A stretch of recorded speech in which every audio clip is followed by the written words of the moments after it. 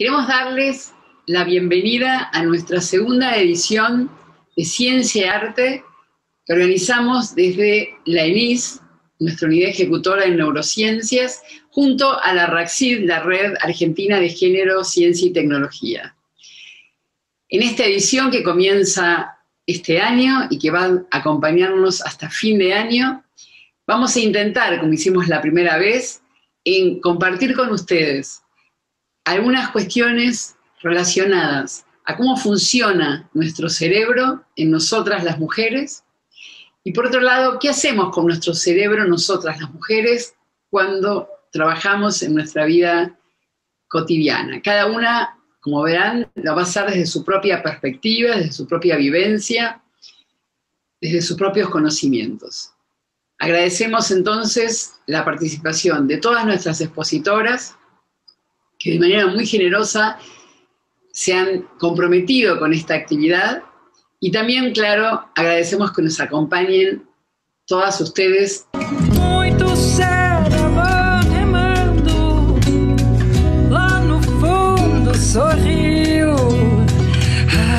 Que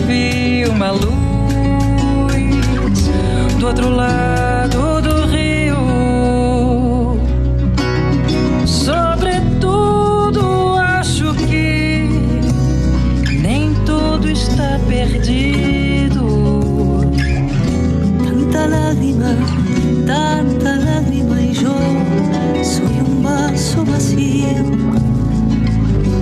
Ouço uma voz que me chama, quase um suspiro.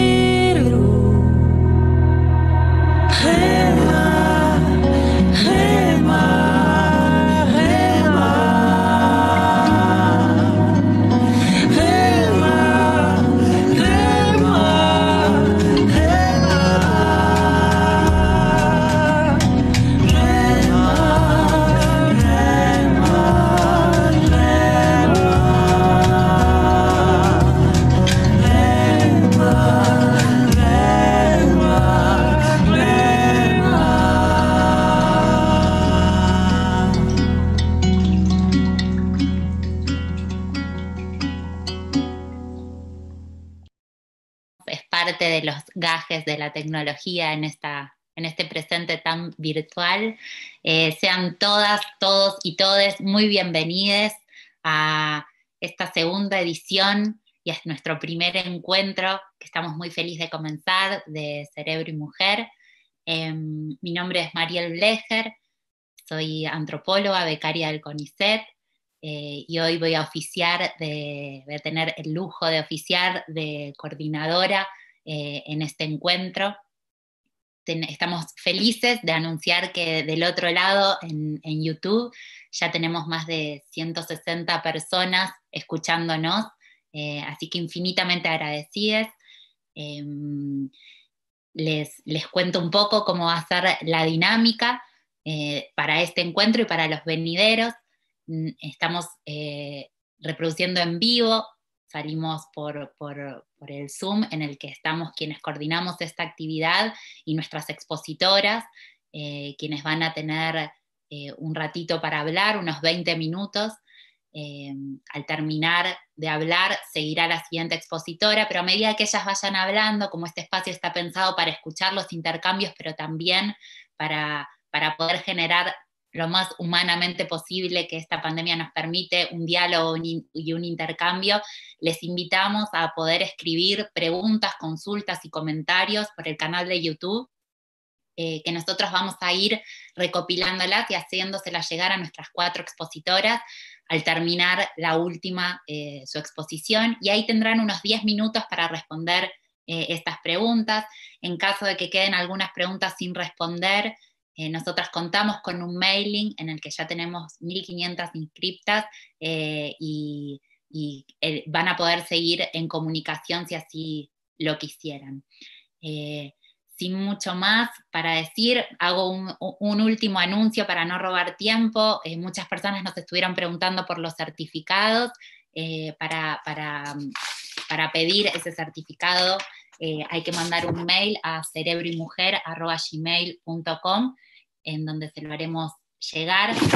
reiterar una vez más el agradecimiento a quienes están viendo y compartiendo de nuestras expositoras y ahora sí doy, doy lugar a, nuestra primera expositora, que es Erika Heinz, que es una química eh, feminista y política argentina, es diputada provincial eh, de Santa Fe por el Frente Progresista Cívico y Social eh, para el periodo 2019-2023 y también es investigadora independiente del CONICET, es especialista en tecnología de alimentos y hoy eh, Erika nos trae una charla que tituló Datos, no opinión, caja de herramientas para hablar de género en las comunidades STEM.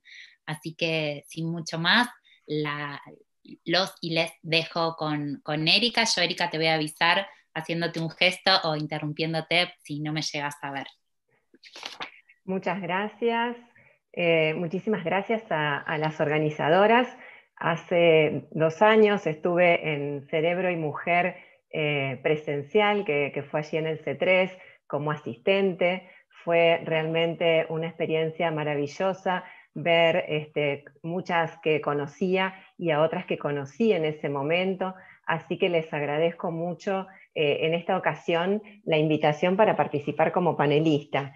Eh, y las felicito. Espero encontrarme otra vez entre las asistentes en los próximos encuentros de este ciclo, que sin duda va a estar buenísimo y que me siento muy honrada por, por haber sido invitada a participar. Bueno, este, este nombre que le puse a la charla, Datos no opinión, es un poco un guiño de lo que pasa en las redes, en las redes sociales, eh, donde esta frase, datos no opinión, suele aparecer muy a menudo y eh, nos reclaman entonces evidencia, eh, cualquiera de las posturas se arroga la evidencia, el dato, y parece que la opinión estaría contaminada de la subjetividad y lo que importa es realmente el dato. Vamos a ver a lo largo de la charla cómo la evidencia, los datos pueden ser útiles para relacionarnos con comunidades como las de la ciencia, la tecnología, la matemática, la ingeniería, porque nos dan una base de discusión y nos dan legitimidad, pero a la vez saber que los datos y la opinión están entremezclados y forman en el ojo del que mira, en el ojo del que busca el dato, que recoge los datos, que los eh, registra, hay eh, una opinión también, y eso forma parte de la construcción del conocimiento. Eh, hablamos mucho de la marea feminista, que hemos conquistado cosas tan importantes eh, recientemente y cómo las mujeres no solamente hemos dado pasos en, en, la, academia y en las ciencias, sino que hemos dado directamente saltos muchas veces, eh, evolucionando mucho en solo 100 años de no, que se nos, nos permitía entrar a la universidad a donde nos encontramos ahora. Pero eh, esa ola feminista llegó realmente a, todos, a todas las disciplinas, cuando hablamos en nuestros laboratorios con nuestros compañeros de las ciencias exactas naturales, de las ingenierías, de las tecnologías, eh, ellos tienen el mismo discurso que alcanzaron eh, las feministas, han registrado ese cambio societal. Bueno, vamos a verlo un poco a lo largo de, esta, charla. Em, este caso, que a mí me gusta ponerle el caso cero, es muy conocido. Yo siempre hablo de este caso cuando me toca dar una charla en las comunidades de, las STEM, y es el sesgo sexista en la evaluación. Es muy conocido, eh, es de 2012, ya va a cumplir 10 años el año que viene este estudio, y es un estudio que consistió en enviar un currículum ficticio eh, a evaluadores eh, más de 100 evaluadores de, Norteamérica, de las mejores universidades, haciéndole preguntas sobre si aceptarían y contratarían a esta persona. con la diferencia que la mitad de los currículum tenían nombre de mujer, Jennifer, y la otra mitad nombre de varón, John. Bueno, ahí se vio que los puntajes que le daban hombres y mujeres evaluadores y evaluadoras eran muchos mayores a John que a Jennifer y, eh, por supuesto, para idénticos datos. No solo eso, sino que además eh, aquellos que aceptaban emplear a Jennifer le proponían un salario 25% menor. Este estudio eh, fue una evidencia, fue un dato que eh, choqueó a las comunidades científicas que estaban convencidas de que elegían a los mejores candidatos y que no tenían ningún tipo de sesgo de género. Siempre hay gente que discrimina ex profeso y conscientemente, pero aún las personas que querían no discriminar estaban socializadas en esta cultura y discriminaban y tenían ese sesgo llamado inconsciente. Esto ha servido muchas veces como una estrategia para demostrar la, mayor dificultad hacia las mujeres eh, y por supuesto las diversidades eh, de la identidad sexual em, en un camino como el de la ciencia donde cada paso es una evaluación. Este caso 1 es otra instantánea del largo camino hacia el liderazgo. Si miramos estas fotos y yo les pregunto, ¿con quién preferirían trabajar ustedes? Con este señor que personifica a Adam Sandler, que es un dentista simpático, ganador, eh, pero que es un poquito mentiroso, que le miente a todo el mundo y dice que está casado pero no está, o con esta señora que es una jefa muy exigente, donde Meryl Streep eh, eh, protagoniza a, esta mujer del diablo se viste a la moda, em, y ella es muy exigente con los demás, consigo misma, muy, puede ser tiránica, eh, bueno, ¿con quién preferirían ustedes trabajar en un grupo eh, laboral? Bueno, hay lo que se conoce como el, doble vínculo, la doble ligazón, la doble trampa, y estas puertas representan las opciones que tenemos las mujeres, que nunca implican ganar, siempre implican perder algo. Las mujeres podemos eh, ser agradables en nuestro grupo de trabajo, pero no respetadas, o ser respetadas, pero que nadie eh, guste de nosotros, que no le resulta agradable trabajar con nosotros, y la puerta de respetado y eh, agradable está reservada solo a los varones. ¿Por qué es esto? Bueno, por los estereotipos. Las mujeres que vamos en contra de los estereotipos de género pagamos un costo social. No gustar tiene implicancias eh, humanas, emocionales, pero además tiene implicancias económicas y implicancias en, eh, simbólicas, ya que nos impide seguir ascendiendo en nuestra carrera si no le gustamos a nuestros jefes y no le gustamos a nuestros compañeros y compañeras de trabajo, si nos consideran desagradables para trabajar.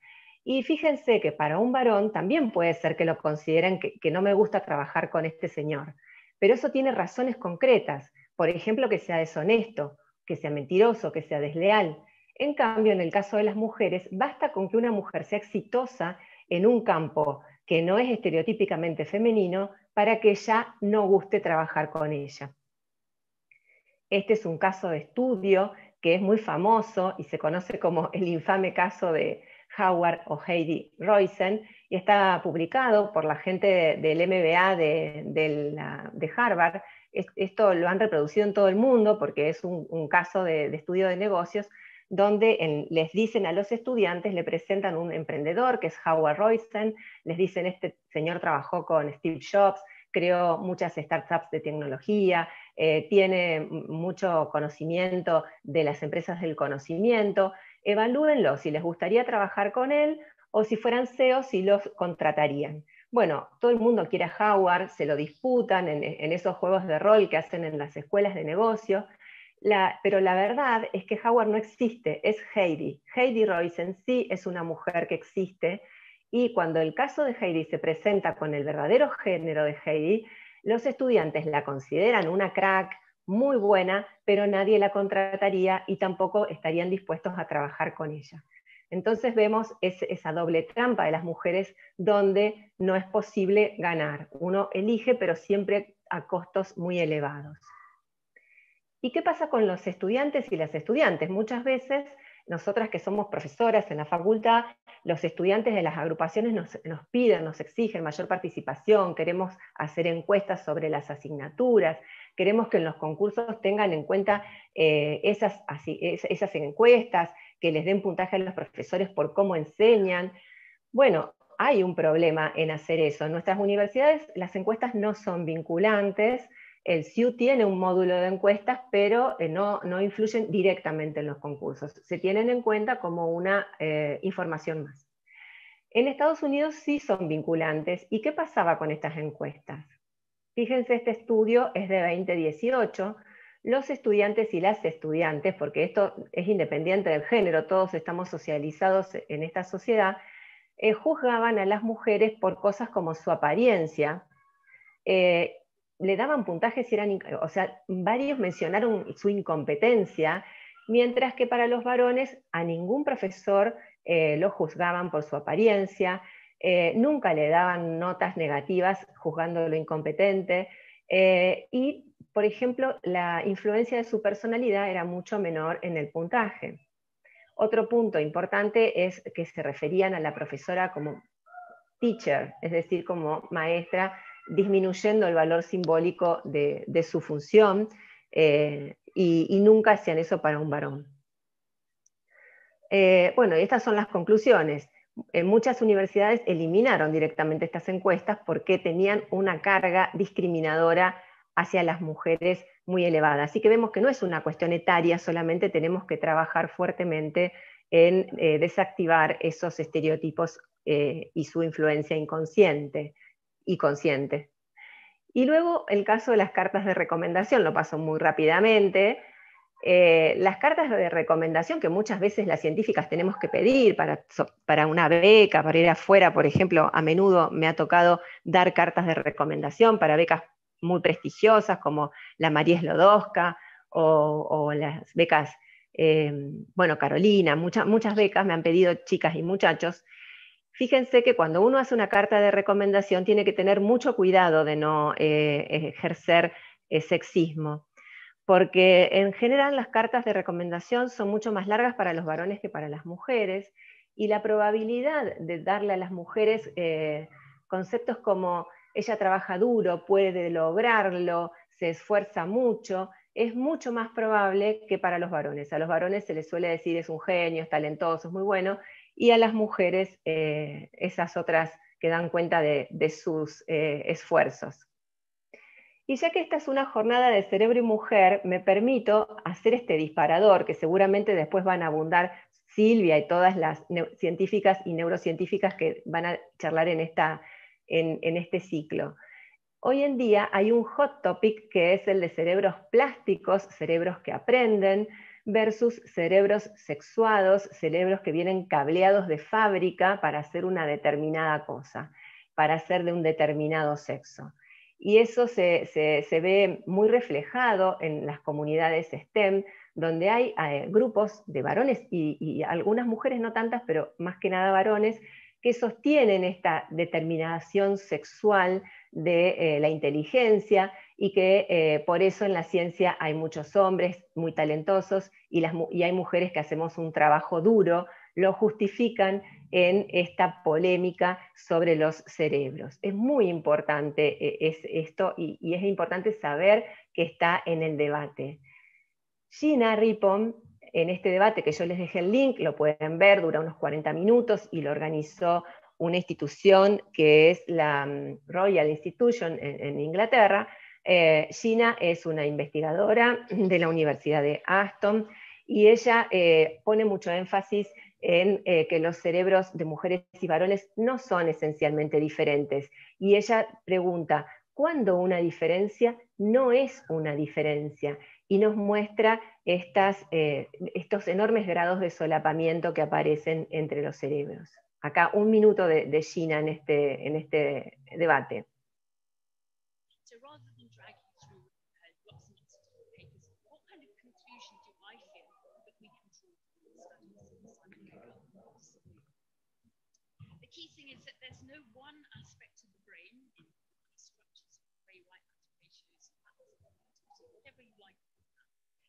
Yet to be found that will reliably differentiate the brain of a woman from the brain of a man. On average, men's brains are bigger, but men are, on average, and that is bigger than Their hearts, lungs, livers, and kidneys are bigger than women's, and I don't think the Royal Institution likely to be having Once you correct for those size differences, almost all the alleged sex differences earlier been found actually tend to disappear. Entonces, las diferencias tienden a desaparecer, dice ella. ¿Qué dice su contrincante, Simon Baron Cohen, que es un psicólogo y psiquiatra que trabaja en la Universidad de Cambridge? Bueno, él también dice que los cerebros son flexibles, son maleables eh, y que la, la, cultura y la socialización influyen en ellos, pero él persiste en discutir las diferencias. Fíjense que incluso hablando de que hay un gran, grado de solapamiento y de similaridad, él considera que las diferencias son dignas de ser discutidas y eso es lo que dice en este video. Bueno, aquí, por ejemplo, él hizo, eh, eh, trabajan en estudios sobre el efecto de la testosterona en los fetos durante eh, el, embarazo y cómo eso impacta en las conexiones em, neuronales. Pero bueno, fíjense lo que dice aquí.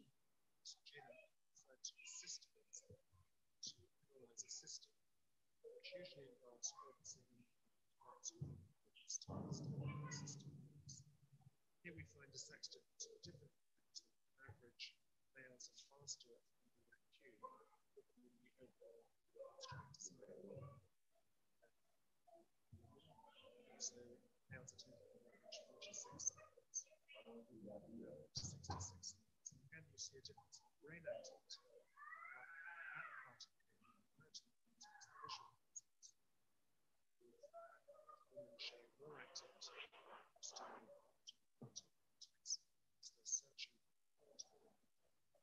Average differences. It's not true of all males and females. Most recently, just last year,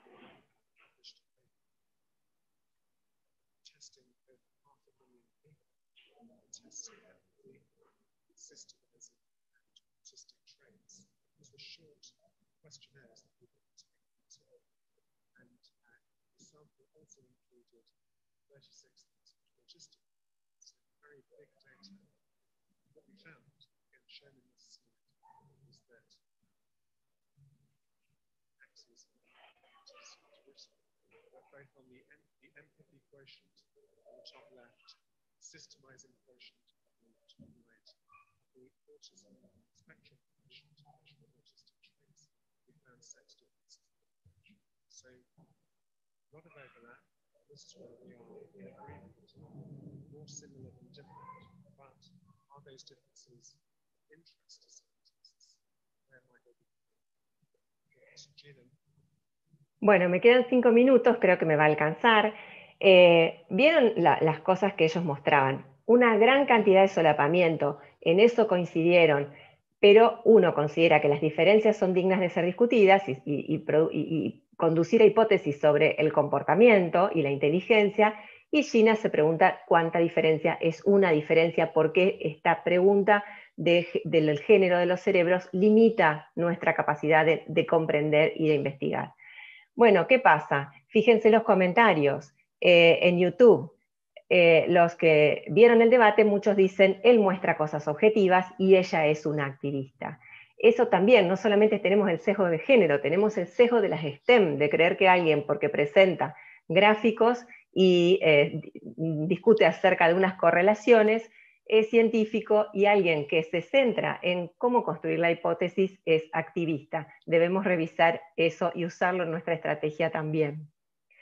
Y lamentablemente, aunque la evidencia no lo respalde, esas investigaciones dan lugar a este tipo de reacciones. Eh, por ejemplo, el famoso memo de Google, donde eh, un, una persona, empleado de la empresa, expresó lo que muchos pensaban y no se atrevían a decir, y era que pensaban que todo el trabajo por la diversidad de género de la empresa no tenía sentido, era solo corrección política y que las mujeres no eran buenas en tecnología.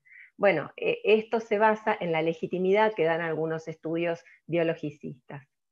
¿Qué podemos hacer? Bueno, yo uso esta definición de Diana Mafia, ahí muy bonita en la foto que le tomaron cuando recibió su, su distinción como honoris causa en Córdoba, en la Universidad de Córdoba, y esta definición del feminismo me parece muy elegante. Dice que hay tres principios, uno descriptivo, que, se puede probar estadísticamente que las mujeres están en distintas condiciones que los varones y que esas condiciones son peores. Eh, uno prescriptivo, que dice que no es justo que esto sea así, de índole moral, ética, y uno práctico que eh, eh, equivale al compromiso que todos podemos y todas podemos tomar para que, dados los dos primeros, hacemos lo posible para no reproducirlo y, si es posible, para revertirlo. Y en eso se basan un poco estos ejemplos que les traje. El punto uno, demostrar que estadísticamente que estamos peor las mujeres que los varones y, los, los, y las y les integrantes de los colectivos LGBTI, trans, travestis. Eh, bueno, para eso hay que mostrar datos y ahí es donde la evidencia y el dato nos puede ayudar. Nosotros, por ejemplo, hicimos un estudio de, uso del tiempo y brechas de género eh, en la provincia de Santa Fe con encuestas presenciales a más de 300 personas en toda nuestra provincia, de personas que se dedican al, conocimiento, que son profesores universitarios, eh, becarios, trabajadores de CONICET, de INTA, del INTI, y eh, obtuvimos importante información, está ese, ese informe disponible. Hicimos una campaña de más igualdad, mejor ciencia, para entrar en los laboratorios con objetos, por ejemplo, cajas de tips con este lema, para discutirlo, para eh, poder discutirlo en los ámbitos donde se ejecuta ciencia. Desayunos entre directorias y becarias de networking, posibles becarias buscando este, directoras. Ustedes saben que hubo recientemente una polémica por un paper que decía si querés triunfar en la, en la ciencia y sos mujer, buscate un director varón. Bueno, eh, ese tipo de, estudios se han publicado recientemente en revistas que después tuvieron que, pedir disculpas. Eh, es difícil seleccionar a veces directoras cuando en las páginas aparecen los jefes de grupo y son todos varones.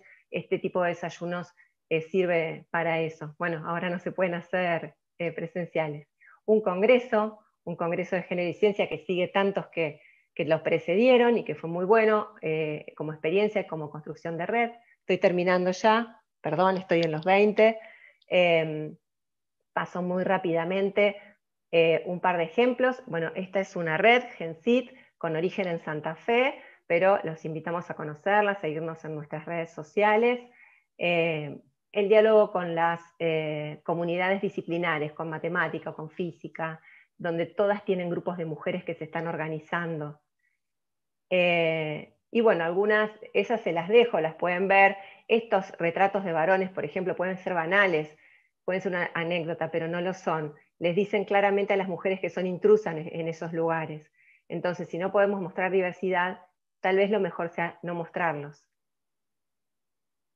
Em, los concursos solo para mujeres de las universidades australianas, eh, esos son muy discutidos, pero los australianos eh, expresaron, los políticos, si, si querés tener más mujeres en un departamento, solamente contratalas. Y entonces hicieron concursos solos para mujeres.